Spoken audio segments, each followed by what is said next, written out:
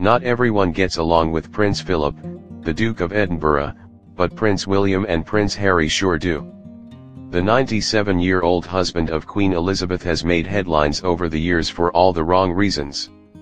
He's opinionated, outspoken, and unafraid to speak his mind without caring what people think.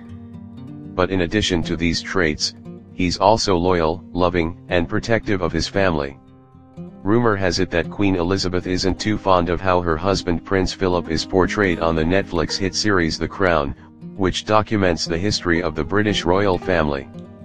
But it turns out Prince William himself had some advice for the actor who would play the role of his grandfather on the show.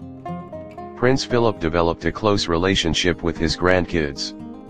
When Princess Diana died in 1997, it was Philip was stepped up and became an advocate for Prince William and Prince Harry.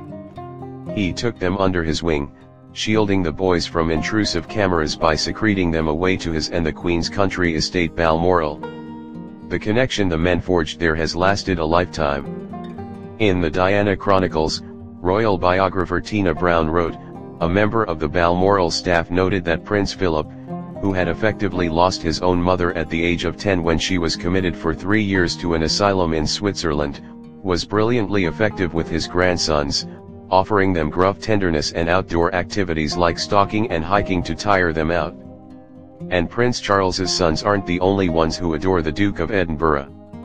I think Grandpa is incredible, Princess Eugenie said during the documentary Our Queen at 90. Prince William had advice for Matt Smith, the actor who plays Prince Philip. From walking beside him at his mother's funeral to tea time at grandparents' house when he was feeling homesick at school, Prince William has been cultivating a deep bond with his grandfather for decades. That's why he had such explicit advice for Matt Smith, the actor who would play Prince Philip on The Crown. When Smith and Prince William saw each other at a charity polo match, the actor asked if he had any advice for how to portray Prince Philip on screen. He said, just one word, legend.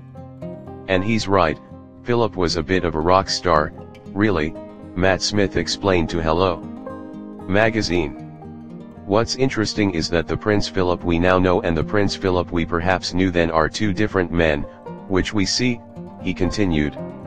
I often play outsiders and he is very much the outsider. He was the voice of dissent in that family but he was also a brilliant father and very well respected in the Navy. Prince Philip is a complicated person. Despite all the glowing reviews, there are plenty of people who think the Duke of Edinburgh is crass and rude. He's made a few potentially racist remarks over the years and has a legendary temper. However, his faults seem balanced by his positive qualities. It's clear that Prince William was correct in his assessment that his grandfather is legend. Love him or hate him, that's exactly what he is.